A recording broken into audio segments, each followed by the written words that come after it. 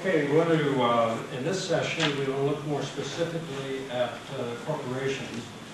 Uh, And when we say that, of course, we're thinking about for-profit organizations, but, you know, I think uh, the principles apply pretty equally uh, to, um, uh, to nonprofits as well, although they tend to be, have a different perspective anyway. They're not hindered by the, a more narrow focus on the, uh, on the profit, but, you know, they also have their own issues to deal with. Um, So, this uh, is really uh, taken from a, uh, from a uh, conference paper that I prepared a year, a year ago, just trying to, uh, to use it as a way of showing the tension that exists between public needs and the, uh, and corporations and how they can address that. Uh, I've handed out incidentally, uh, uh, anybody who should have copies of the, uh, the handouts for each of these, these slides. And so the objective essentially is employing social systems analysis. And this comes directly from the social process triangles that um, that were developed by the Order Ecumenical back in the 70s. And uh, the reason why this whole issue has become very personal for me was when Marianne and I first uh, were in Chicago with the Order Ecumenical in the 70s, I was signed out, and I was, ended up with Sears Roebuck uh, as their international attorney. And uh, what I discovered, to my great surprise, was that Sears was a revolutionary activity in Latin America, with the retailing industry, and the mass merchandising turned the retail industry around completely, just as it done in the United States. And uh, it was doing a lot of developmental, economic developmental activity in all the countries it was in because it was in effect outsourcing. And it was providing quality standards. It was providing marketing capability to hundreds of small firms who otherwise could never reach the market. And it wasn't doing this because it wanted to really a socially responsible corporation. Yeah, they had a reputation to protect, but they were doing this because this is the way they did business. And that's really the theme of this, of, of mine, is that that's what companies should be looking at, the way they do business. Um, and that there are ways of doing business uh, that can be um, uh, improved on in a way that doesn't cost that much more, but can have an enormous uh, social benefits. And so that's the idea of a, of a, uh, a corporate audit, corporate social audit, in order to see how that could happen. Um, so the idea of the systems analysis then, using the social process and the corporate process triangles, is to enable, create an awareness among corporations that corporate social responsibility is integral to societal development.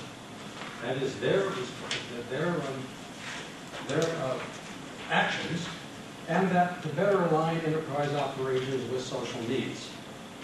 Uh, and I say that specifically now, um, well, I'll talk about that in a second, but the theoretical underpinnings of this is that the business of business is social service. Now, that's not revolutionary. Actually, Peter Drucker said that back in the in the 50s, he said that's what you do. You provide a service, people like the service, they buy the service, you then provide more service.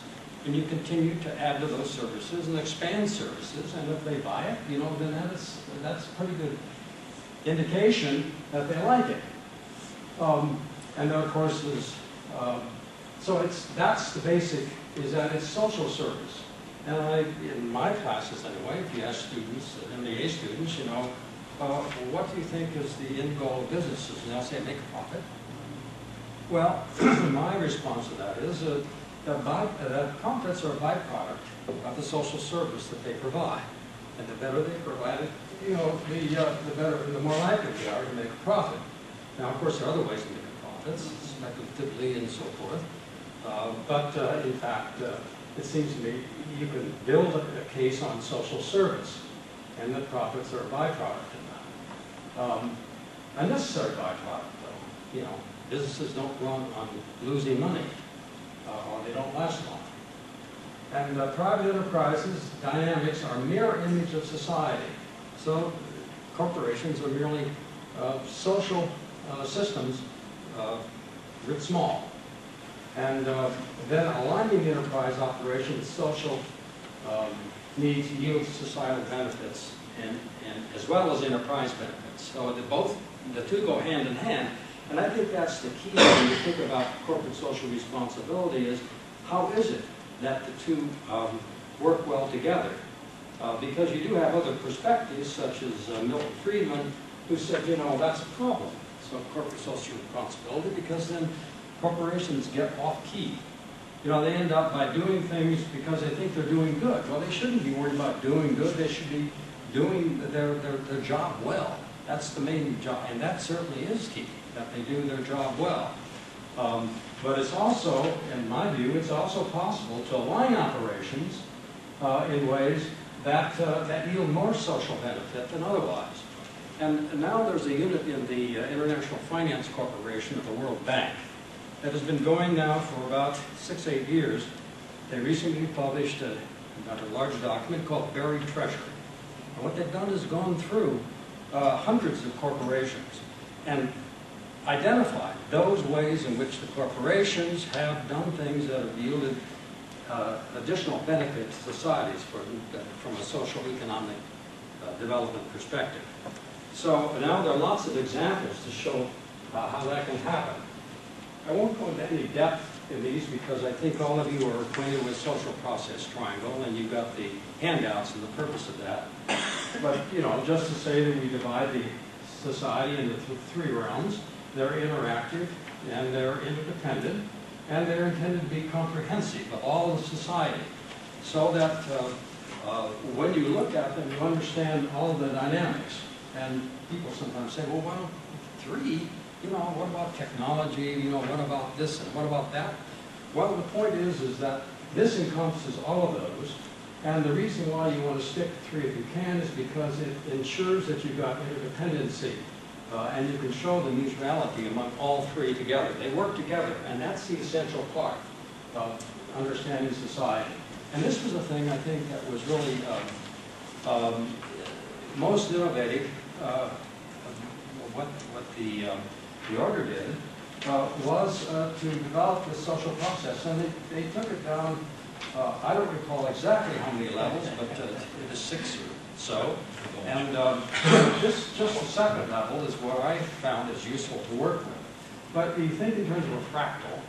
Uh, so the, the rationale is the same, that you've got uh, over here on the economic, sustainable, foundational role of all society, without which society just disappears because there's no food and, uh, no way to sustain society. Then there's the organizational role, that you've got to have decision making. Society has to make decisions, so that has to be part of it. And without that, it, uh, it disintegrates. And then there's the significant pull. That's the pull that creates the identity, the value-laden part of society. And uh, that's essential because uh, without that, society just has no way of saying who it is. And, and you find societies that lose the ability to identify who they are. And um, um, uh, Samuel Huntington, for instance, in this book on the clash of civilization, shows you how societies can be split and, uh, and, and, and can tear apart. So this becomes very important for keeping societies together. So these then the important here is that we've got nine indicators. Three economic indicators, uh, three political indicators, uh, order, justice, welfare, and three cultural indicators, uh, the wisdom of society, how is it passed down from generation to generation, style, how do people engage and uh, act out uh, their, uh, their um, relationships, and then simple, what identifies the deepest yearnings, the sacred values that, that society identifies with. So um, then what you can do is you can take that and for each of those nine you can just uh, give it a definition about uh, these are sort of the benchmarks of uh, what does it mean to have a distribution system, uh, what does it mean to have a resource base, and looking at it from the point of view of corporations. Now, you can also look at it, and I'll show you another slide, and you can look at it in terms of societal stability or instability. But from a corporate point of view, corporations are interested in what are the qualitative inputs? What is the productivity? How can I get productivity if I establish my business?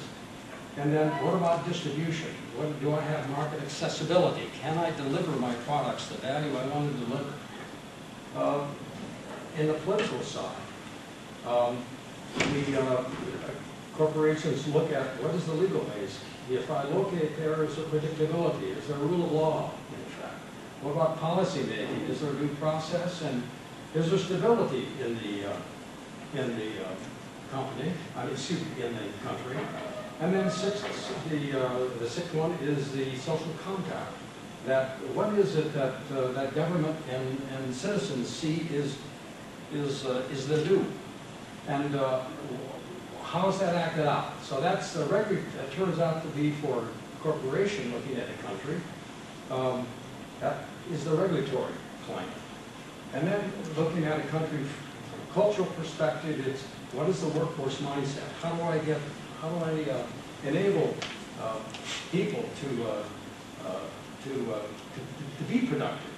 And, uh, and how can I enable my organization to learn and to transmit the knowledge? Social relationships, when you look at a country, you say, what, how do they act? You know, is it a family oriented? Is it, is it small, small businesses working together? Uh, Is it uh, family oriented? Uh, Or is it larger businesses? And how, how do they relate to, uh, to stakeholders? So there's styles of interacting in any culture, any country culture. And then the sacred values of any company. What are the values that I need to respect? So I don't respect, you know, I won't make it with my company. So those are the kinds of things that a corporation needs to keep in needs to keep in mind when it is trying to uh, adjust its, um, the way it operates uh, to country culture. And there are just thousands of cases, and I'm sure you've heard of some, you know, where companies go in, uh, uh, for instance, the United Parcel went into uh, Spain, and they said, uh, okay, everyone wears a uniform and no smoking on the job. Well, it took about two weeks, and the Spaniards just said, sorry, we're not doing this. We smoke and we wear what we want. And uh, this is, uh, uh, there are, uh, you know, so gradually they had to negotiate. So, you know, it- things just don't always fit um, what you want.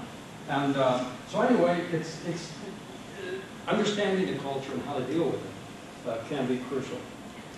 Um, there we go. Oh, well, this I just want to say, another way you can adapt to social uh, process triangle is uh, in terms of instability indicators. You can, uh, and we, we were asked at at one point, Randy was there, and uh, then Jim Weigel and uh, and Gene Watts. Gene Watts, And- Lee Early. Yeah, yeah, so uh, to, uh, with a a group in the Defense Department, because they're looking at societal instability, so we put this together to suggest using this as, you know, nine ways of talking about why societies might become unstable. And what are the, uh, how can you, uh, what are the indicators of that? So I won't go into that, but uh, just to show you, those are uh, ways in which you can use those same uh, nine, in- uh, nine dynamics of the uh, social process to do that. Now, um,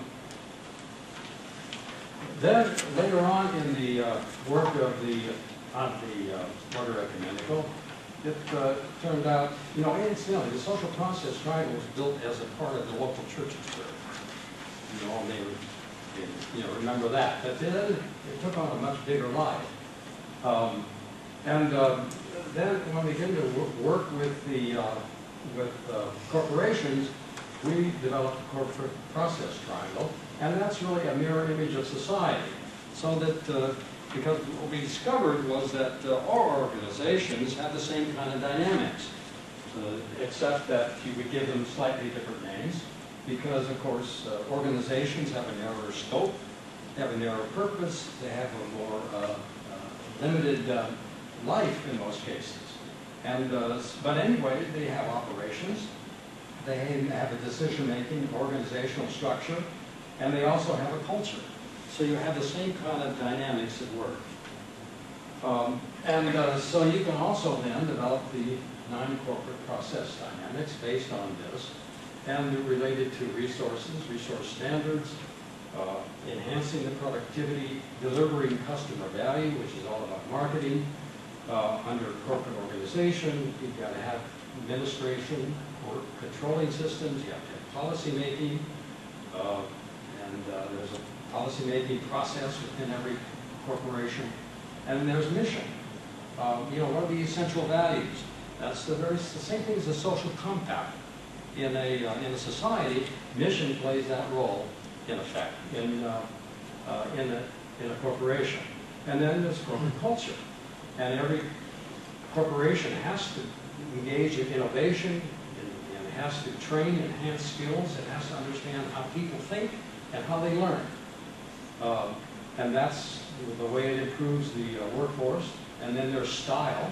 Style is the way employees and stakeholders work together. What is the style? What are the relationships? And then identity, every organization has its own identity as to what is it that's essential uh, to our survival and uh, to thriving. So some of the challenges, I guess the important thing to keep in mind when you look at this juxtaposition is, you do in fact have two different perspectives at work. You have in the corporate process a fairly narrow perspective of surviving and trying to uh, make it, which means making a profit. So you know, that's the bottom line, is to make a profit. Uh, But to do that, you've got to deliver value. So you're trying to deliver value and make a profit, because if you don't make a profit, you don't survive. On the other hand, society is a much larger, much more, much, much broader um, uh, set of uh, uh, perspectives. It's all public. And um, of course, it has other things at its disposal. It can tax and it can inflate. Well, corporations can't really do that. But if they can, if they're, if they're not making it, of course, our corporations in America, we just go to the legislature and we say, could we have some more money? Um, And uh, so there are times you- that they get bailed out, but in fact, that doesn't normally happen. So those are, so there's a tension.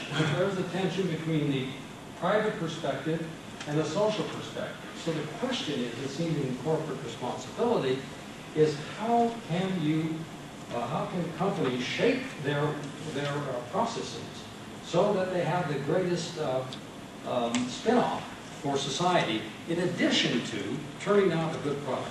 Now, a good product is important, that's very important, central to them, but they're also, the point here is, there are eight other dynamics at work, and all of those can be brought to play for that purpose. So let's, uh, so what are the, some of the challenges? Now, you get back to Friedman's uh, perspective, and he was saying that, well, it's all in the marketplace, and uh, uh, the invisible hand, so you just, everyone does whatever they do, and then suddenly this gradually comes together. Well, we know there are lots of reasons why that doesn't happen, and we're going through one right now, uh, uh, through the, uh, the subprime debacle. And uh, so sometimes, so there are market imperfections. There are issues with balancing property rights, because sometimes uh, people's rights, such as rights to, uh, to inventions and so forth, they're not recognized, they're not protected, they're not going to innovate, and they're not going to be motivated to innovate. There are biases in legal systems. Uh, Some, you know, some people don't have access to legal systems, and to the extent you don't have access to the legal system, you know, you're, you know, you don't have a a due process either. Public policy limitations, we know public policy can be skewed in favor of vested interests, and, uh, and so it doesn't always end up as being, public policy doesn't always mean it's in the best uh, interest of the, uh, of the country. There are dislocation effects because there's social economic change. So companies are always trying to come to grips with this. How do I deal with the fact that, uh, you know, the workplace is changing, or that uh, people's uh, market preferences are changing, or that there's competition coming from all around, around the world that I'm not quite aware of. And so there's constantly trying to grapple with that. And that means they can't always say, well, I'd like to help this, or I'd like to do that. So there's some limitations. there. There are ethical norms, there's mistrust, there are low expectations. I mean, if you're in a society where everyone pays everybody else off, you know, you are kind of hamstrung. What are you gonna do? You just don't pay off? Uh, or do you, um, or do you pay off and just uh, take your lumps? And, um, anyway, so there are these kinds of uh, ethical issues, and they're just plain short-sighted and speculative decision-making. Um, and there are numerous books that have been written recently about how, why successful companies end up uh, uh, suddenly um, uh, at the end of the road. And the reason is because they get so excited about their successes, they forget that something else is happening over here or over there. And uh, their products play out, and uh, there are new competitors coming. Um, I think of Motorola and its mobile telephone, you know, mean, they were at the top of the world in mobile, and suddenly this company said, of it? No, no, what? Nokia. Then they weren't even mobile, they weren't even a telephone company, and they suddenly transformed themselves, and suddenly they're taking off and surpassing uh, uh, a long-time uh, multinational like, uh, like Motorola. So anyway, these are the kinds of constraints. So the, the issue is this. Um, uh, If we wanted to conduct a, uh, an audit process, uh, it's essentially four steps. The first step is the company needs to clarify what its strategic imperative is. It's got to know that because if it doesn't link corporate social responsibility with strategic imperatives, they soon get lost. You get a new CEO and he goes off in that direction and uh, he's got his own pet things and uh, it turns into phila- philanthropy and he, he finds somebody he likes and dispenses a little money here, a little money there, whatever. But that doesn't get to the basis of what, how you get a company to be um, uh, responsible socially in terms of its operations. So it has to clarify what that is, so companies need to know themselves. The next step is, is then to review the full range of societal needs that intersect with corporate activities.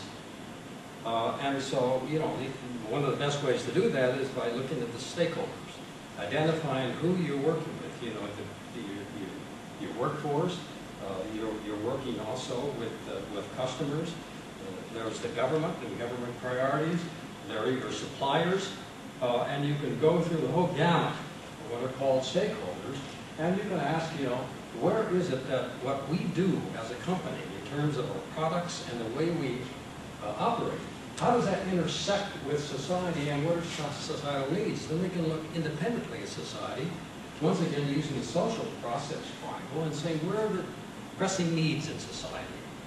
And do any of our activities intersect with those pressing needs? And uh, there are always going to be some, but it needs to take into consideration that kind of a uh, survey.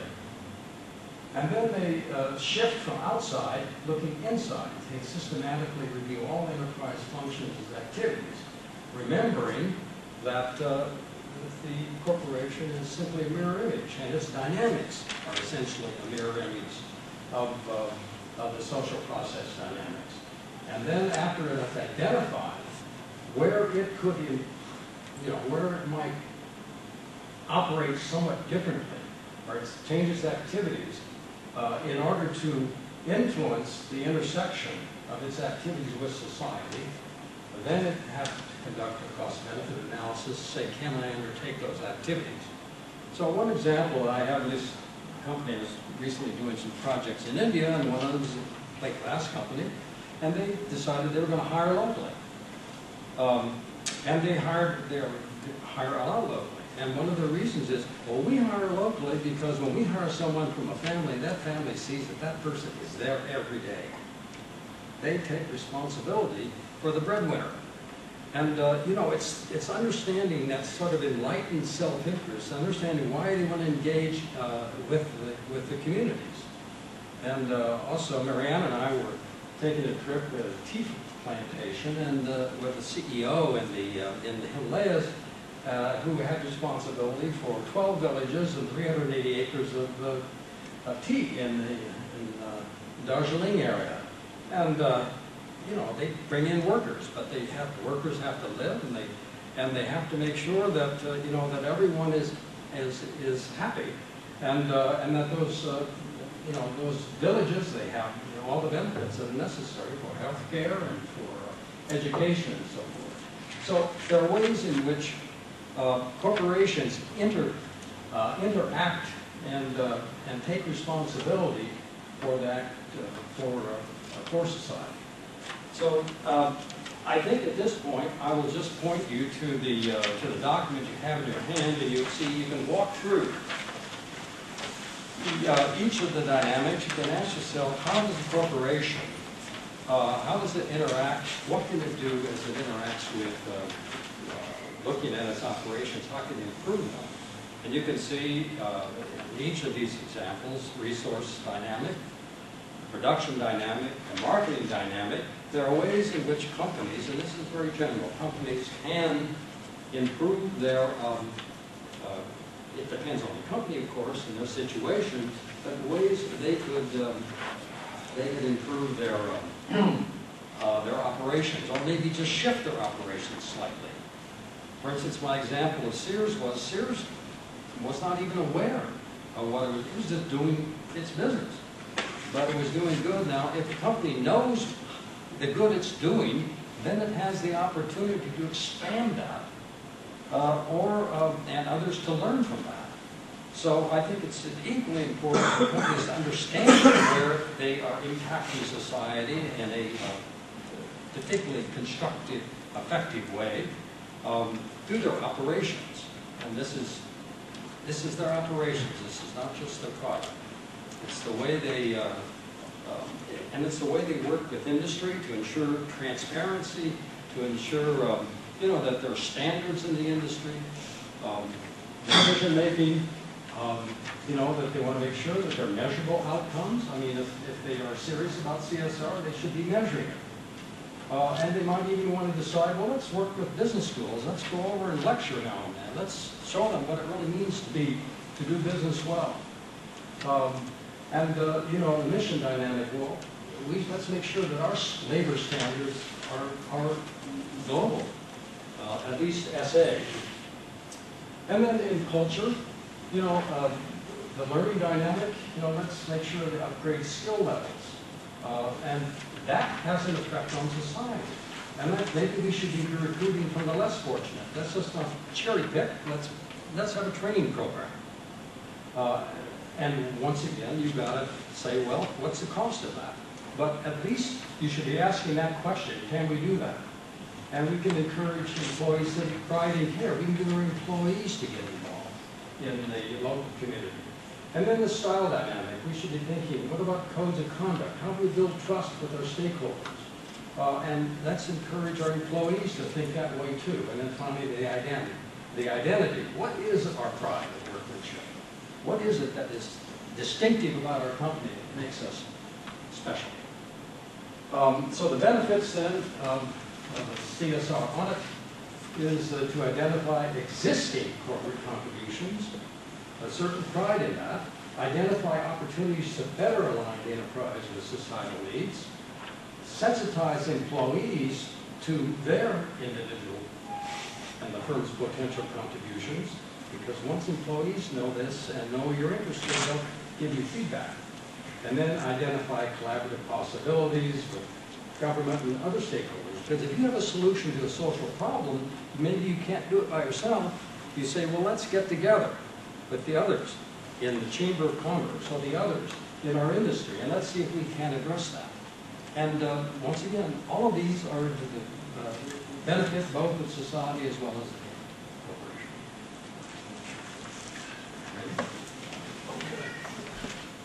Thank you, Clancy. We're gonna, we're gonna do a workshop in just a few minutes. And we're gonna uh, ask you to think about a couple of questions.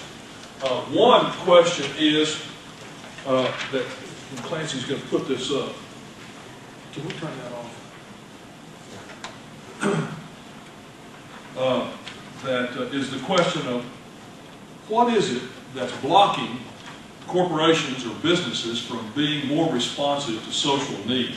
And by the way, Clancy mentioned that this process he just described can be applicable to, a- to a business, a for-profit corporation, or it can be uh, applicable to a, I suppose, a large non nonprofit. I also want to suggest that, given the fact that most of the employment in our country comes from small business, that I believe it can also be very, very effective for small business, perhaps on a, on a, on a, on a different kind of scale, but the same way. So we're going to ask you to look at that then, and I assume all of you have an interest in, in finding answers to those two questions, or you're in the wrong group.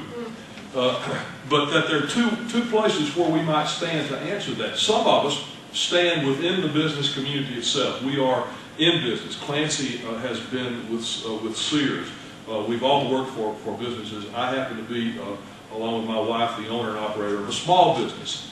And so we have a particular vantage point that when we address those questions, we're going to address them from that particular perspective. Some of you may be associated with a, what I call a social sector, a nonprofit. It could be a faith-based organization, it could be a church, it could be some other organization where you're standing somewhat outside the context and you're still interested in seeing how you can leverage business to be more responsive to social needs, but from that perspective. And so, so the question, the approach might be somewhat different. And uh, uh, as you get into the workshop and begin to try to answer those questions, it'll be interesting to see how you, how you look at it from those two different perspectives whether you're, you're trying to leverage uh, that kind of social responsiveness from inside the organization uh, as part of it or from standing outside of it. Now, there are a couple, that I have to say to you that in, in my interest in corporate social responsibility and bringing about change in business operations, there are a couple of, of uh, uh, things I've had to come to grips with. And it's something like this. That number one, business is here to stay. This is just to state the obvious. It's not going away. It's here to stay. Number two, it's very, very powerful, which is to say it's going to have an influence. And the third thing is that business is in fact a part of, not apart from the social system. Uh, that economic dimension that Clancy put up on the social process triangle is part of it. It's not something drawn off to the side. So it's all there and it's going to have its impact and going to be impacted by both the political and the cultural of the whole thing. So, so two kinds of assumptions that I've had to grip with for myself. One is to say to myself that business is not the enemy. That some of you will remember Joe used to say something like this. He said uh, that a revolutionary always defines uh, uh, uh defines winning in her own terms, and therefore she never loses. Remember that? Anybody remember that? Always define, uh, define uh, winning in your own terms, therefore we never lose. Well, I've kind of taken that a step further in terms of business. That a revolutionary never calls anyone enemy whom he cannot beat. Does that make sense? Oh, so, so why, why take on an enemy that you can't beat? So therefore, uh, uh, I'm going to assume that business is not the enemy. The second thing I want, I want to suggest that at least I've had to struggle with in terms of assuming, and Clancy certainly alluded to this and talked about it, but that is that profit is not a four-letter word. Uh, there, there's, there's nothing wrong with making a profit. As a matter of fact, uh, I would go so far as to say that nonprofit organizations have to make a profit. Uh, the only difference between not-for-profit and for-profit is how you distribute the, the, surplus. That's the only difference whatsoever. And uh, uh, Doug, who's the, the, the, president of the ICA board, and Karen, who, who is, does development for the ICA, understands full well that if the ICA does not bring in more money than it spends, which I think is the popular definition of profit, then the ICA ceases to exist. So that's as relevant for that's as relevant for uh, for nonprofits as it is for for-profit businesses. But but the thing where it becomes a problem is when profit not only becomes the priority but the only priority. And at that particular point in time, what happens is uh, companies begin to, uh, uh, the, they begin to uh, exploit markets, like uh, in developing products, for example, instead of asking the question, what, what, what is needed, they ask, what can we develop that we can sell uh, at, at, at, a high margin, and then they do that sort of thing. and then they also exploit and manipulate employees so that an employee becomes a head count, becomes a, a, a piece of capital, it becomes a disposable uh, resource that gets used until it's worn out and it gets thrown out on the heap. Uh, and, and, and, that's what happens. There have been several things, little adages, I think, that have been said about profit, and, and these things have been said by, in many cases, practicing business people. But, but uh, one was that uh, uh, profit is no more the purpose of business than breathing is the purpose of life. And I kind of draw a distinction there between, I like to use the word and draw a distinction between vital and essential. That, that profit is vital to a business. Profit is absolutely vital. You've got to have a profit. But it's not of the essence. It's not of the essence of what the business is about. So the other little saying that I've heard, a little quote, is that the purpose of business is to serve and profit's the way you keep score. So I just want to I just want to state those kinds of things in terms of in terms of uh, uh, the stance towards business, in terms of those kinds of uh, those kinds of options. Now, uh, Clancy mentioned. Is there a black? black? Here's one. Clancy mentioned uh, uh, Milton Friedman, and there are kind of two interesting little perspectives that I want to contrast. IED and Milton Friedman, uh, uh, in 1970, wasn't it, John, uh, wrote an article uh, that was published in the New York Times uh, magazine in which he essentially said that the social responsibility of business is to make a profit. Just period. Just to make a profit. And I'm going to give uh, I'm going to give Friedman a little bit of the benefit of the doubt there. Uh, I, I, think what he was really alluding to was uh, some of the old uh, uh, uh, adages we've heard. the thing about well, obviously Adam Smith's invisible hand, but the idea that that in a rising tide every boat rises. Well, somebody pointed out that assumes you've got a boat and that it doesn't have a hole in it. Uh, so there, there are some to whom that may not apply. So what he was really, I think, appealing to through that whole thing is what we've come to know since 1970 as trickle-down economics, uh, that if you can amass enough uh, wealth at the top, some of it will, will, will slide down to the rest of the masses. But we've demonstrated, I think, uh, in our economic times, in our lifetime, that that really is not the case. It doesn't work like that. Uh, there were just a couple of other things that, uh, that Friedman said in his article that I found myself wanting to take issue with. Uh, one was he seemed to talk as if, and we've already addressed this, but as if business were somehow outside the social system and that it had no impact. And then when he was making his case for why uh, uh, uh, money and expenditure should not be spent towards doing good things, he said because the, the, the owners of the company, the investors, the stockholders, uh, didn't give you permission to do that. And his assumption behind that was that the only people who have any skin in the game are the people who have invested money. Now, I got to thinking, I have a friend uh, who is a day trader. And he may own a significant piece of the company for a day or two or three days. And the assumption that he has more skin in the game than some guy who's, or woman who's been working for it for 35 years just doesn't jive with me. That there have to be some other people who have some kind of an indicative interest in the business beyond just people who have put money into it. Uh, uh, and, and there certainly are a lot of other people. We call all those people who are affected uh, by the uh, by, by, by the uh, the way the business does business, as I refer to them as we all do as stakeholders. Now there was another guy over on the other side of this in 1990, a guy named Willis Harman. Anybody know Willis Harman? Willis Harman uh, is he was a Stanford Research Institute guy for a long time, but he actually uh, uh, was the co-founder of an organization called the World Business Academy, which I think is I think is still around in business. Uh, uh, uh himself passed away, I think, uh, a few years ago. But in 1990, 20 years after Friedman, Willis Harman made a statement where that then eventually was showing up on the back cover of the of the publication of the World Business Academy. They did a quarterly or something called Perspectives. And it, he said something like this. He said, at any time in history, the most powerful institution on the planet has had to take responsibility for the whole. And then he said, much as the church did in the Middle Ages. And then, the fact that he was writing in the latter half of the 20th century, he said, today, the most powerful institution on the planet is business. Now think about that just for a second. How could that be? That business, he said, has has the greatest of the technological resources, the intellectual resources, and the financial resources.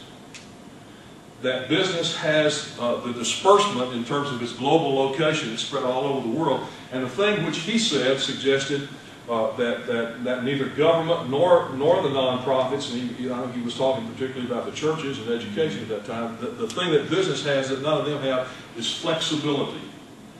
That they don't have to ascribe to a bunch of rules and so forth and so on, that they can actually respond quickly. So Harman's conclusion was that business, as the most powerful institution on the planet, has to take responsibility for the whole.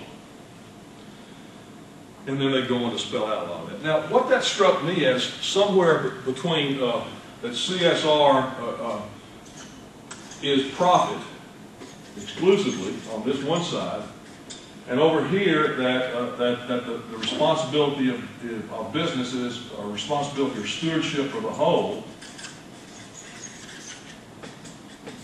uh, that there's got to be some kind of middle ground in this. Like, how, how would you ever, how would you ever bridge that gap? How would you move from one to the other?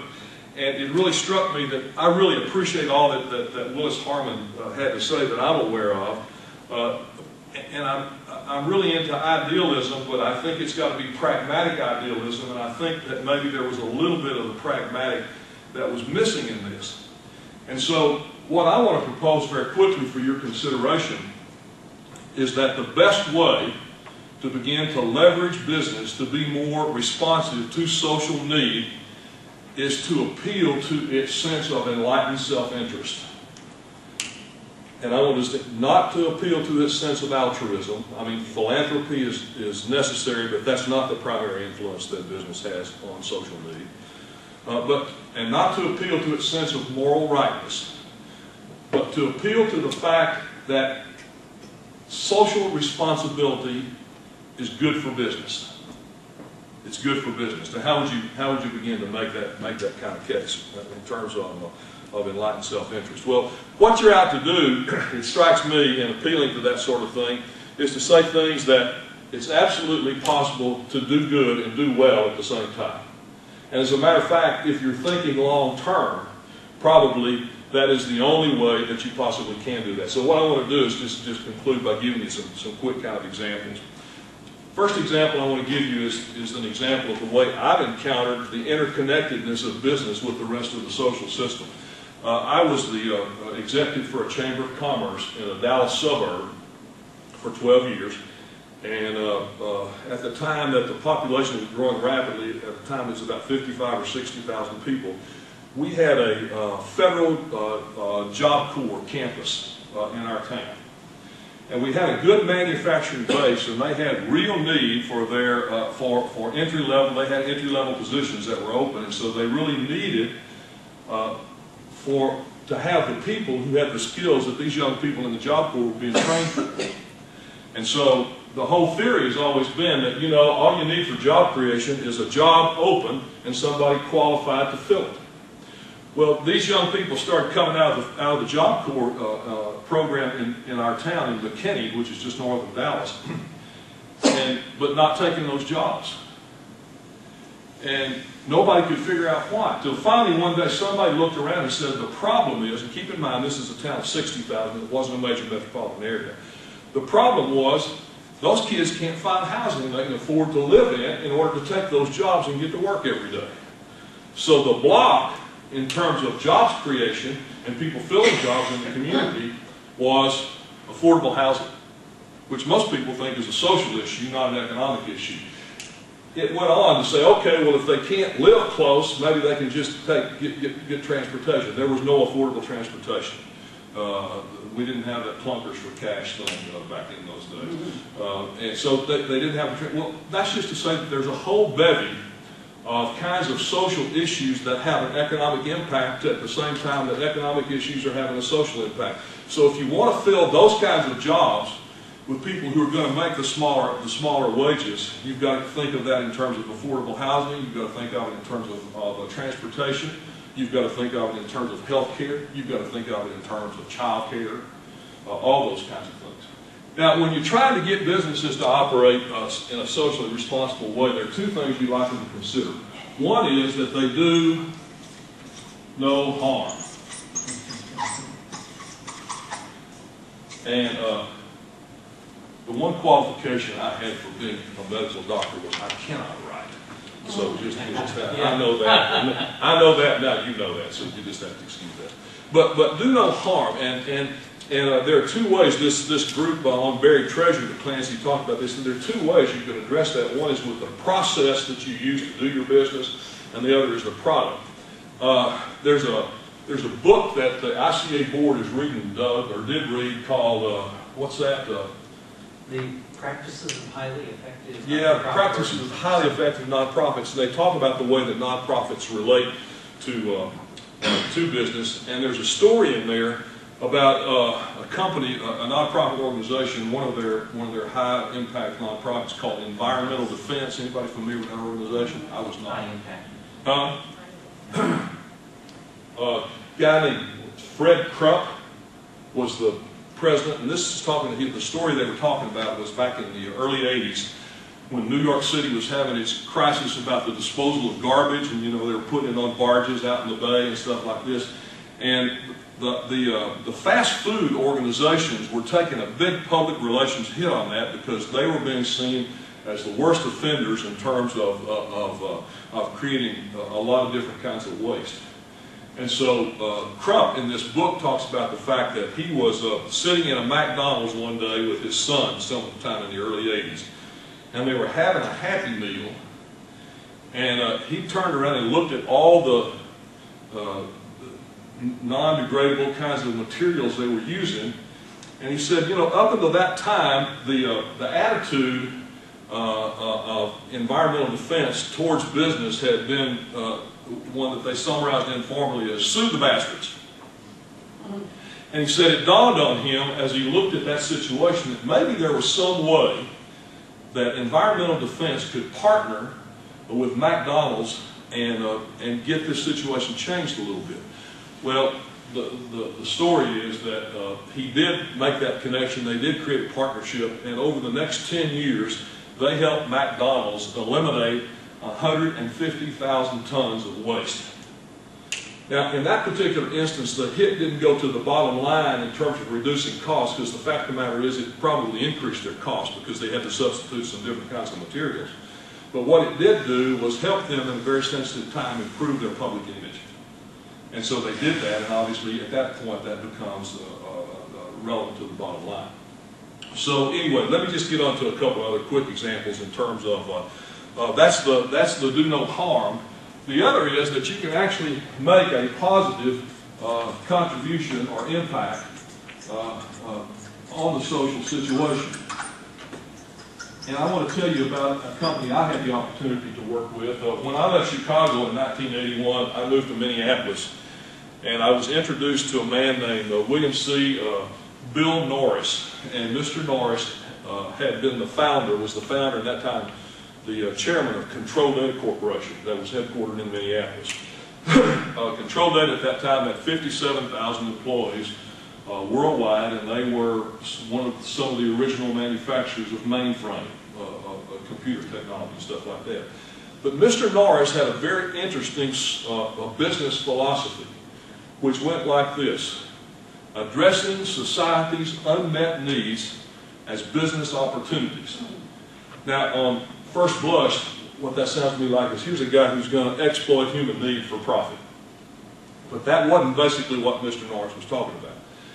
And what he was basically talking about, his vision was that number one, that he was going to serve underserved populations, and that he was going to do that by, uh, by creating products that were already needed rather than creating a product that nobody knew they need and then uh, that they needed and then create a, a, a, huge expansive advertising campaign to convince them that they did. And we could go through a whole litany of products that are on the market today selling for very high prices and large margins that uh, 15, 5 years ago nobody knew they needed that. Now they can't live without it, whatever it might be. So he started that sort of thing. So when I went there, it was to work for a couple of uh, companies that he had created inside the company, one called Rural Ventures Incorporated and the other called City Ventures Corp., which, by the way, what he did with those companies was he created consortia of other concerns around uh, those, and uh, Rural Ventures, the one that I was with initially, not only had companies like Land O'Lakes, because it had to do with agriculture and farming, but the, uh, the uh, St. Paul Diocese of the Catholic Church was a member of that consortium. And guess who else? The Institute of Cultural Affairs was a member of that consortium. Uh, and, and, and they were putting those things together. And what he was trying to do with, with, with control data, with, with, with rural ventures was he had come off a family farm in Nebraska. As a matter of fact, on the campus at Control Data, on the front campus there at the parking lot, he brought his windmill from off of his farm and had it on the parking lot there, which was just kind of a symbol of that. But his whole thing was he wanted to he wanted to make small family farms and small agribusiness in rural communities viable, and he wanted to do that by using computer technology, which was, of course, what their what their, their product was. He did the same thing uh, with City Venture, but what he practically, what he actually did there was that he uh, he started uh, building manufacturing plants in riot-torn inner-city areas in order to deal with the problem of job creation, but to do it in such a way that the transportation and the housing and so forth and so on uh, were not an issue. There were just several other things he did. Uh, Control Data was having a lot of, uh, of uh, federal contracts at that time, and that was back in the time, and it may still be true, when if you had a federal contract and you had to subcontract certain pieces of it out, there was a certain amount of that subcontracting required by law that you had to issue to minority-owned businesses. And so what Mr. Norris did was he began a program called STARCO, where he was spinning off businesses out of control data to create minority-owned businesses that, that, that control data could then do business with in compliance with federal law in terms of the contracts they had. And uh, so he did that, and he created a bunch of small business incubators to put those people in that he called business and technology centers. And then in order to deal with the financing, he got a bunch of other captains of the industry in the Minneapolis area together, and uh, he created a company called the Minnesota Seed Capital Fund. And what he was basically doing is they were trying to finance the startup of these new commercially viable businesses, but unlike venture capital funds, where a venture capitalist comes in and they own a, major a majority uh, uh, uh, of the company. Uh, the Minnesota Seed Capital Fund uh, actually uh, did not take a majority position in the company. That they owned less than the majority of the stock, and then at the point where the business became profitable enough that it could buy the stock back, it did that. Mr. Norris raised $5 million to start that fund with, and in the first five years he had that money back and had raised another 5 million, which they reinvested in that sort of thing. But some of the other things he did, and I was just kind of looking at this, he, uh, he started some of America's first wind farms. Uh, he, he developed a computer education system uh, called Plato. Some of you may, I think it was one of the very, very first ones. And there were a bunch of other kinds of, kinds of uh, educational programs like that he did. And then he, he did a deal where he, he was, Control Data was one of the first companies to actually set up a corporate daycare program within the company to take care of the kids and workers of the company. It was just, just all those kinds of things. Uh, somebody may ask, well, what happened to Control Data Corporation because it's not around anymore? Uh, the demise of Control Data Corporation uh, occurred after the stockholders who didn't like, uh, uh, particularly care for what Mr. Norris was doing, decided to kick him upstairs. And then what happened is one of their spinoff businesses, which was not minority, anybody here of Cray Research? Seymour Cray was one of uh, Mr. Norris's proteges, and Seymour Cray went out and developed a better supercomputer uh, that was faster and less expensive than Control Data had done, and given that fact and the fact that they didn't really get into the PC uh, product business quick enough was, uh, uh, was another reason. But it all had nothing to do with that kind of sense of what they were trying to get done. Now, I, there was one other thing. We're out of time, so I'm going to quit. But but I wanted to just mention on the paper I handed out, uh, which is not what I talked about really. But on the very last, last page of it is something I, that I inserted just lately. And what I want to just suggest from that is what I think we could do systematically in society, just, just as just a vision kind of thing, is what if we created some kind of what I call on that thing, a partnership for the common good and that, that we have all the social sectors, the social sector, the private sector, the public sector, all beginning to focus on that. And where I put uh, uh, up at the top accountability and down at the bottom transparency, that business is responsible to do just what it does, as we've described it in terms of this, this social, responsibility, social responsibility. Government has its responsibilities in terms of uh, things like uh, regulation, uh, things like safety nets, and so forth and so on. Uh, and then the social sector, and, and what I, I thought Pete Peter Drucker had a key insight. You know, we, we refer to those as NGOs, NPOs. Drucker says you can't define something by what it's not. So we got to say what it is. So he called it the social sector. That's good, bad, or whatever, I, so I just call it the social sector. But it's kind of interesting. Uh, we were talking some of us earlier, Jack and I talked about this, that Paul Hawken, a couple of years ago, wrote this book called Blessed Unrest. Are you familiar with it? He said that there are essentially 1 million to 2 million mini movements going on around the globe among these social sector organizations where they're actually trying through advocacy, through uh, education, through demonstration, and I don't mean sign waving demonstration, I mean demonstration projects like this organization understands, to begin to address and encourage and leverage uh, business and government to get their act together and begin to work together. And so it seems to me that what I was trying to say with this diagram is that the responsibility of, of the social sector is to hold both the public sector and the private sector accountable. But let me let me remind you that what we mean by accountability always was not a was not a head head banging kind of accountability, but a way to enable people to come back and get their act together and go forward and, and do better. The transparency thing was another part of our understanding of what accountability was all about. That as you remember, we used to say that nobody can be held accountable to somebody else's decision about what they ought to do. They can only be held accountable for their decision about what they're going to do. So the transparency thing would be, for me, and particularly over on the uh, private sector pole, is for business to announce what it intends to do, what its public purpose in terms of its social responsibility is, and how it intends to carry, to carry forward on that, and then to report back in terms of how it's doing, so that the, the social sector can then begin to, to hold that accountability uh, and that the transparency is there.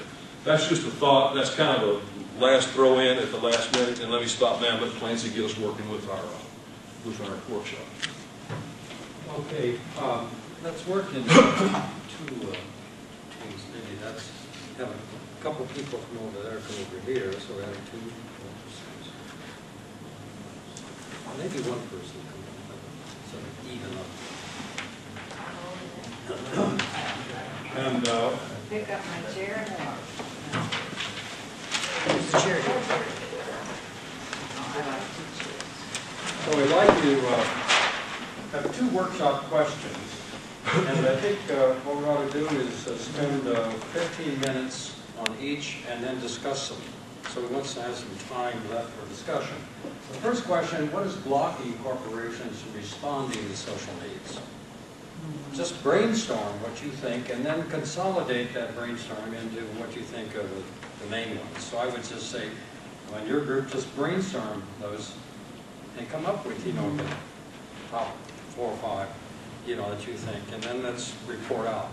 So let's take uh, 15 minutes to do that, and then we'll proceed to the second part, which is to ask, what do we do about it?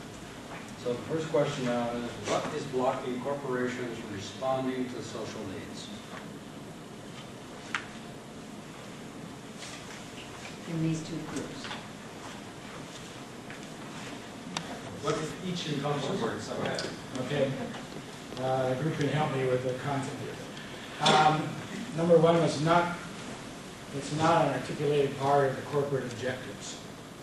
Okay, this is what is blocking corps from responding to societal needs, not part of corporate objectives. That might come from the CEO, that might come from a, uh, an understanding that uh, what social responsibility is, is charity after the bottom line has been met, so forth. Anything else under that one? That's good. Uh, number two is the industry short-term focus um, versus long-term. Um, So once again, in terms of social responsibility, this could be uh, a charity approach versus a long-term in your best interest uh, approach to relating to society.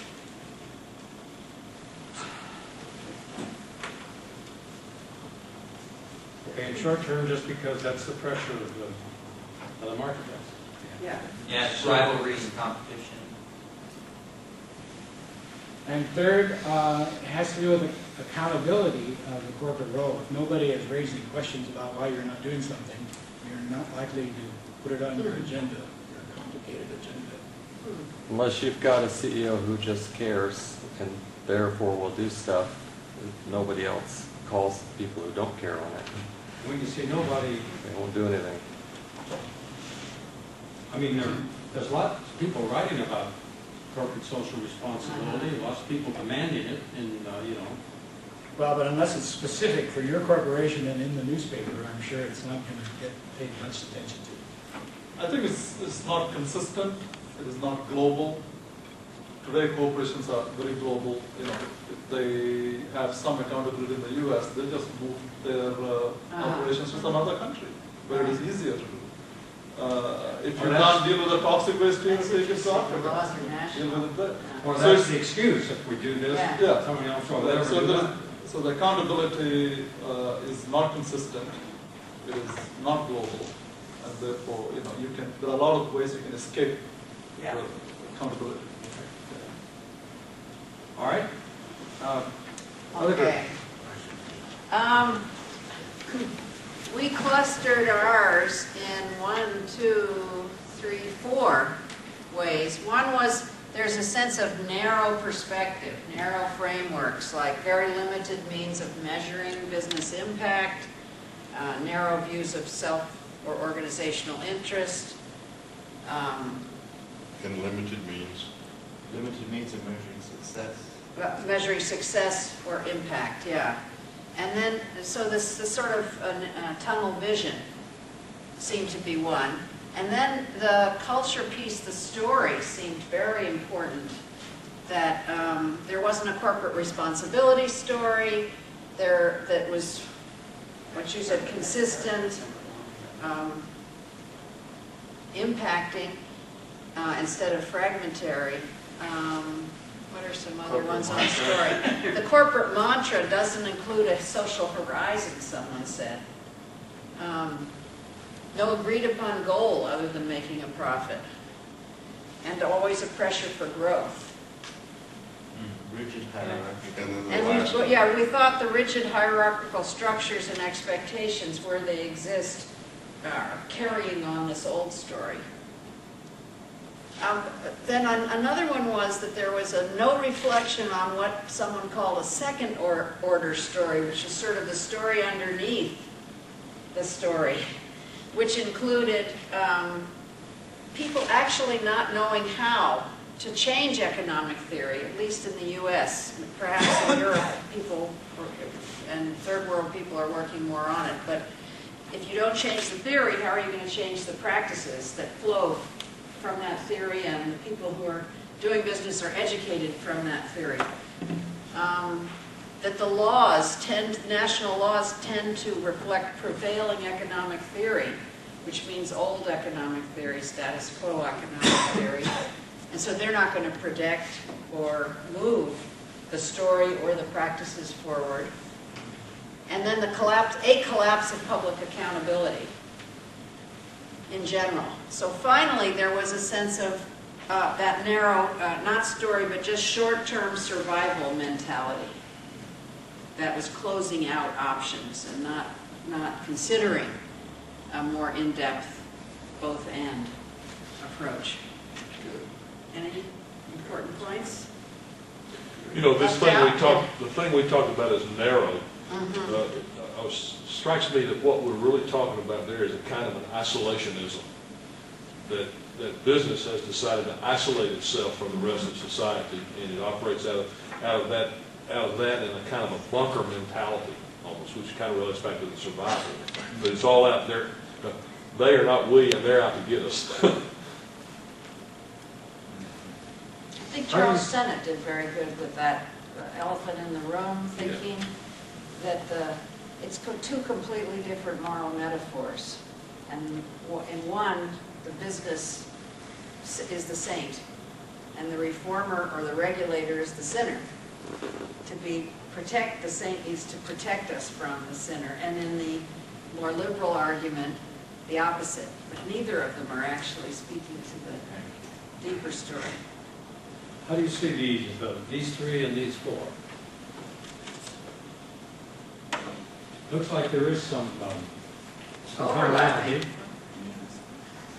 Not part of the Corporate objective, it looks like it's part of, it's the story aspect, right? Right. Yes. Uh-huh. Um, Industry short-term focus and versus, so the short-term focus, that's the survivability mentality. And, um, and this whole idea about uh, common standards of- for accountability, global. We said collapse of public accountability, but then we pushed it over to- into the whole, economic theory, uh, rigidity of a present economic theory. You said no reflection on the second order story. Yeah, is this, is this account, this is Yeah. really the accountability aspect, right? Mhm. That's not part of the, the game. Or there's no common, there it's, there's no common standards to, to hold accountability. And uh, here that's,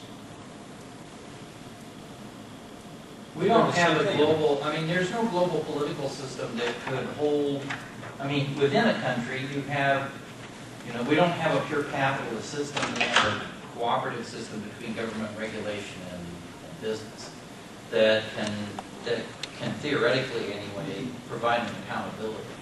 But business is now a global operation, and there isn't a comparable global structure that can hold that accountability. People just go some other place, move stuff offshore to Bermuda or wherever, where the local, because local rules are basically what apply. You know, It that doesn't have to nation be doesn't have, Offshore either, it could just be from one town to another. or one town to another, or One state. one state to another. Other reflections about these. There's something about the, the, being part of the corporate objective, I mean, there's this idea that social responsibility is nice, if you got some leftover profit, you can sort of, Mhm. you know, like a soup kitchen or something, or you have a foundation that you fund, and not a vision of how that's an intimate part of this product or service that's being offered. And that nobody's made the case to say that social responsibility is an element of com- sustainable competitive advantage. Oh, yeah, they're, I'm, I'm made in the literature. Yeah, well, but it's not getting communicated, or, or it's not believed or something. Or it's not being, or short-term interests tend to outweigh long-term interests, so even though they know it's in their long-term interest and it is part of your sustainable competitive advantage, those things are given up sometimes. Maybe if, process-wise, if we thought of it in terms of like that, a wave, because it seems like some things are coming in, but they haven't hit yet. They haven't hit the beach yet. But other things are somehow, there's so many disincentives that they're not even on the, they're not on their way. So- So we can say no to those, they're not there, but there is certainly some of this. Clancy, I think it's kind of, it was in that, that paper you talked about, the buried treasure thing. Mhm. It's kind of like, everybody's paying lip service to this. Yeah. That, you know, that, That's the that, that, stage cor- it is. that, that so- social responsibility Uh-huh. is good for profits. But a lot of people are having a real hard time tracing that to the bottom line. Yeah, that's, You know, the scientific evidence is lacking a little bit in terms of Well, what that's that's really also, true. uh, one of the big pushes in uh, the research in this area is measurability. Yeah. Because it recognize, unless you can measure it, you know, people can say, well, I don't know. Yeah, I think another block that has not, show, not shown up here is uh, the frustration with the political system to address some of the uh, big social needs. What happens is, industry, and there's not like, uh, there isn't like nothing's going on. There's a lot of areas where industry is contributing to addressing the social needs. But one of the issues is industry cannot do it alone it, it has to work with the, uh, what you call, the local political structures and political system. Because a lot of the, if you really want to address social needs in a long-term way, there are a lot of policy changes that have to be made. There are a lot of regulations have to be brought in. A lot of infrastructure has to be implemented. In a lot of the places, that's where the needs are. Now, private sector cannot address that alone.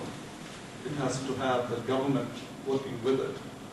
And with the elections happening every two years, three years, four years, new politicians coming with the new agendas, new manifestos, political ideology changing every few years, things just don't go anywhere. Mm-hmm. And this happens in a number of places, and I know it happens, you know, in India, when, where we have tried to work together, IT industry, trying to address some real deep social needs, it just grinds to a halt after one or two years because you just get frustrated that things are not moving. The industry just gives up. So, and that's a major block where you cannot really address social needs because structurally you cannot do anything uh, without the government, you know, real participation, not just uh, uh, lip service. There's a, there's a huge cultural question here, Cyprian. Uh, Because you and I spend, you know, so much of our work in, in India. Uh, The Indian concept of social responsibility is different than the West. Uh, Indian companies have a very strong sense, for instance, that they have a responsibility to care for the community in which they, re- they reside. Almost every company will have villages, will have some kind of um, project, hospital, or what have you, that they see as integral to their work. Or you take somebody like the Tata Corporation, which, I, what is it, 40 or 50 percent of their profits are all go to their social uh, uh, service, social needs. So there, the, it, it's a very natural extension of what it means to be in business. Uh, Now, it's not always done well or uh, done effectively, but it is much easier to have a conversation about this or to catalyze or get something going uh, in India because it is seen as this is, this is what you do. Uh, In the West, you often have uh, big barriers to moving in this area. So this is not a universal set of blocks. Um, Well, also in countries like Germany, um, the, where the chambers are really function, and industry-wise, for instance, apprenticeship programs and so forth, they really work together very carefully. Uh, So, you know, they'll agree among, companies will agree among themselves how many apprentices they're gonna take this year, so that they make sure that everybody has a job uh, who's coming out and needs an apprenticeship. But also, Clancy, there isn't there, a- a- I'm trying to, again, having not worked in the US field other than what I've read, uh, but I, I think there are a number of corporations, for instance, who have just decided that they can no longer sit back and not do something about the education system because the people they're getting can't do the job. And so there's new partnerships evolving in, in, in the whole education field Yeah. that the corporations decided this is in our interest to make the education system produce people that we can, we can hire. You know, interesting, interesting illustration of that. One of the big attractors to get companies to move to towns is tax abatements. There are some companies out there who, when they come to a town, will not accept a tax abatement from the school district mm-hmm. because they know they're going to depend upon what the school district produces to provide them qualified employees. Reply what uh, Jack was saying, my company, we work with 40 engineering colleges in India to change the curriculum, the last year's curriculum, engineering curriculum. So we take engineering graduates, and most of them, even if we select the best, they're not uh, suitable to do what we want them to do.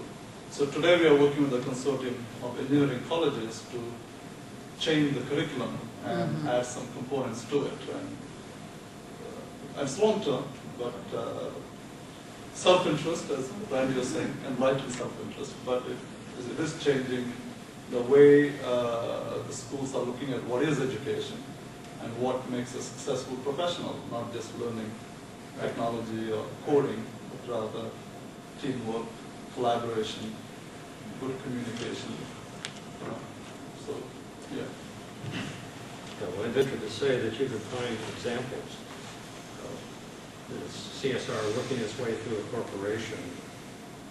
Hundreds of examples, I would think, you know, Oh, look at the Globe, and I think looking at Buried Treasures with the International Finance Corporation, that unit, I mean, the fact that there's a unit that's been functioning there for about eight years to collecting tax, you know, in order to, you know, the basis for expanding and trying to show that, you know, this is doable, that kind of thing is going on. There are lots of examples of it going on, but, uh, so, but, you know, there's a lot that still can be done, and I guess, uh, you know, these are three, and they, they, they relate to, you know, those two, the story, the narrow story, the kind of no responsibility story, the short-term uh, survival mentality, um, and the ideology, the sort of second-order story about how the economy functions.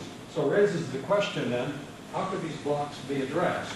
Now, we've already sort of touched on that a little bit, but I think it's worthwhile for us to huddle in our groups for, let's say, another, um, well, we, we need to wrap up here at five, right? Yeah, we have to, the- we have to be downstairs. So why don't we spend 15 minutes in our group just talking about this second question, how could these blocks be addressed? And then we'll wrap it up with 15 minutes and just,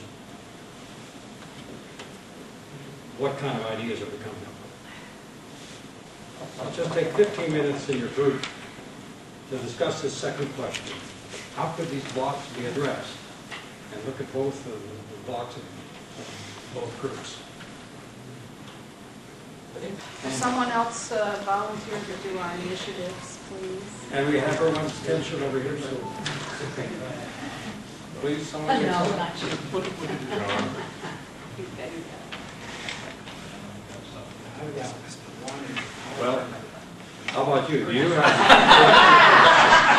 Hey, Joe? survival. Report out? yeah. We've got a couple of things. Uh, I think two major emphases uh, is, first has to do with help the awakening folks who are there already in every organization, but they're lonely, uh, isolated. Somehow finding ways to bring those together and perhaps help them with methods to be more effective, tools to stay spiritually sustained, and connections with each other to be able to keep it going, sort of build a community. That was one arena. The other had, one had to do with expanding the innovative context, or expanding the context where people can see beyond the borders of the business into the societal arena of responsibility. And one, uh, there were several vehicles to do the entry points. One was business schools, and notably five people in this room happen to be teaching in such things. And, uh, Oh, we know. the, the World Business Academy, for examples, alliances with groups of that sort, and then um, powerful business people as individuals who seem to be awakened and alert, um, but lacking the methods, the spiritual tools to be sustained, and the colleagues and so forth. That those might be three entry points to expanding context. Okay. We had uh, three, one, um, uh, finding ways for uh, companies which are more enlightened in this field to demand uh, and hold others accountable. For example, I'll give an example. Recently, uh, my company was bidding for a project for a bank, and the RFP, request for proposal, had a whole section on how are you acting out your social responsibility. Uh, They insisted the proposal be not submitted with any paper, and if it was paper, it has to be recycled paper. And this is for which bank? Uh, I can't reveal the name for. Uh, But I can't say the name, we can biggest, the national, you know it. Um, So there are a number of uh, conditions put in it, which are very, very helpful. Not just, you know, economic, I mean, environment thing, gender diversity, uh, and all kinds of things. Energy efficiency, waste disposal, and everything under the sun. And we have actually show how it was all done. And we found it extremely helpful. And I think we were, one of the things we discussed was how might we have a strategy where the more enlightened organizations, which there are plenty in the world, begin to put pressure, both structural and indirect, on others. So that's one. Second thing is using examples where companies have seen taking social responsibility does benefit, on, you know, for both top line and bottom line on the long term. And using those examples as part of the education process. And that's what the IFC program unit is. Yeah. Third, uh, we felt like it has to be part of the popular culture. It has to become a fad. Maybe it needs to get into the education system, like a number of things became part of the MBA curriculum, and those became part of the industry way of operating. So this might need to become that, or have uh, the popular, like the Tom Peters dynamic. We don't have anybody today like that, but if there were, and some, use this as part of their popular, popularizing this particular arena. So that's another strategy. Uh, I think the, the common aspect here is finding ways for uh, ensuring accountability. So defining standards and then, uh, and then uh, holding accountability. And, uh, you know, there are, um, I think that's what's lead, um, what, what's happening with the IFC. And uh, I'm sure it'll happen with the World Bank and it'll gradually happen, organizations will begin to, uh, to adopt these standards, I think, uh, There, there's a, um, this, in, in the Scandinavian countries, I'm familiar with the, the, there's a concept there of social responsibility accounting. So it's become part of the accounting standards. And as, and accounting standards are moving much more toward being global GAAP, uh, uh, accounting principles.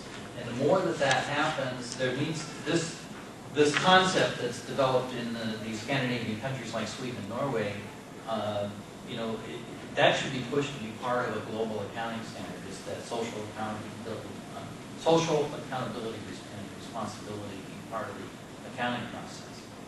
Well, there are, uh, incidentally, there are, I'm sure there are more than one, I don't know how many there are, but uh, conferences, annual conferences on sustainability in which uh, CSR plays a very big role. Yeah. And the push is on measurability, Yeah, to be able to demonstrate both the social impact as well as the business value.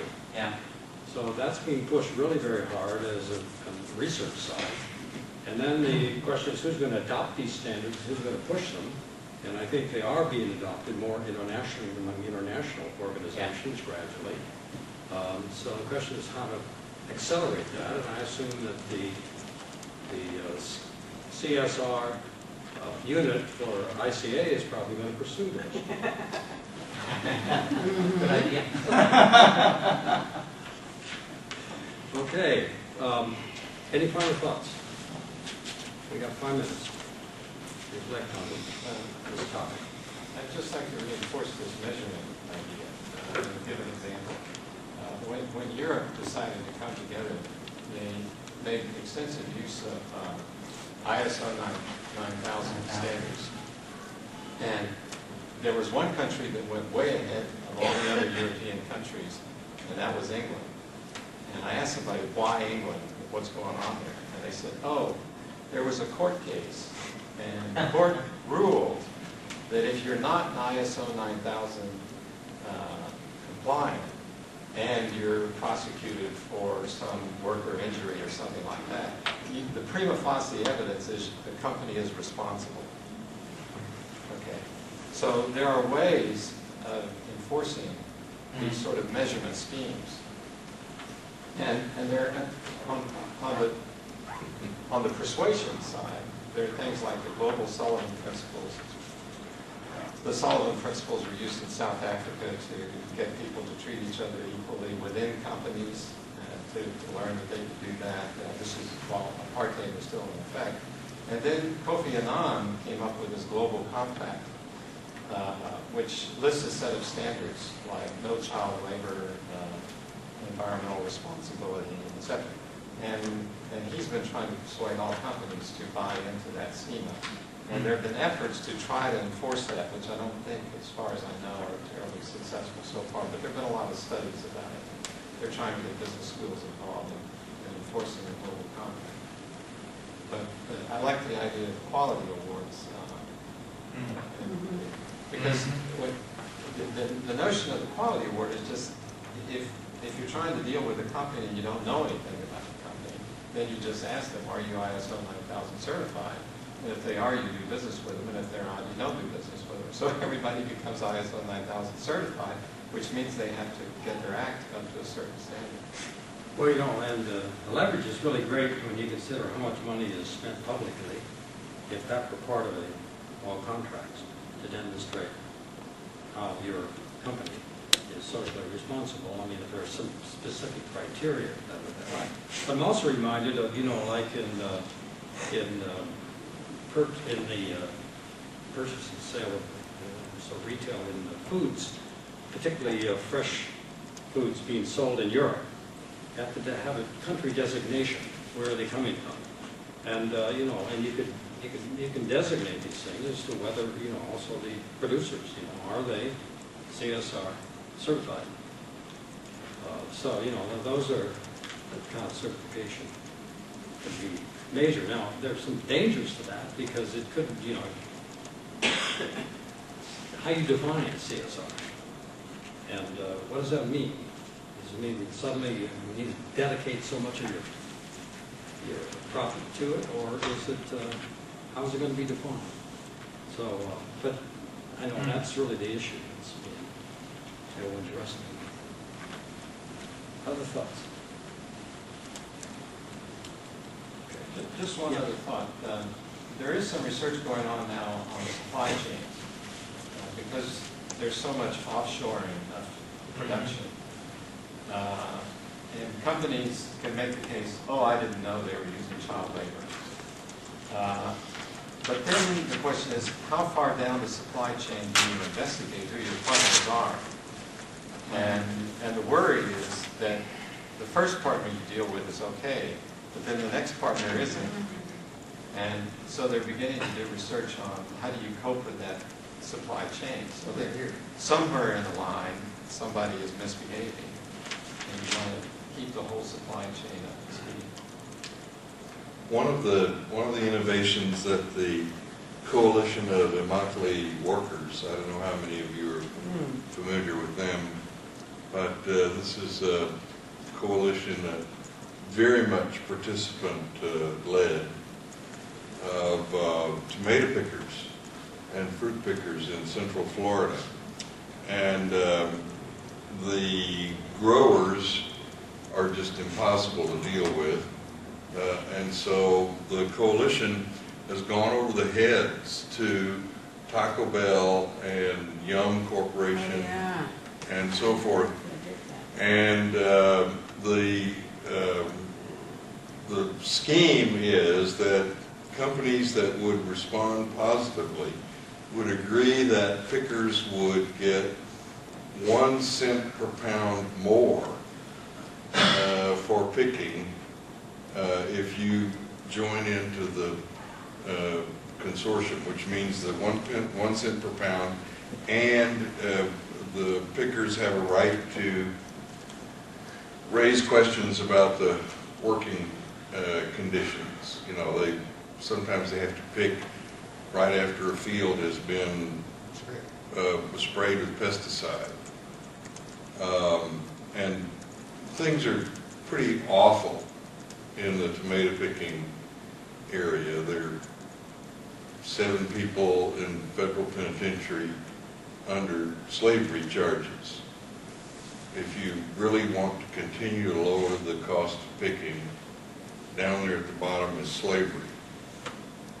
But also a number of organizations, organizations like the Forest Stewardship Council, don't refer to them, but they work with uh, Home Depot and uh, Lowe's and others to make sure that the forest, that the lumber they use is, uh, is lumber that is uh, not taken from, well, certain types of forests and that kind of thing, but also in terms of uh, regulating the, uh, the working conditions. So, you know, initially, I mean, it's an activist group, but they've managed to build it to, then ultimately uh, uh, co-opt, or at least get the others to join in. So there are a lot of initiatives going on. Okay, what's, uh, let's see from here on, we're, I think that's it, isn't it?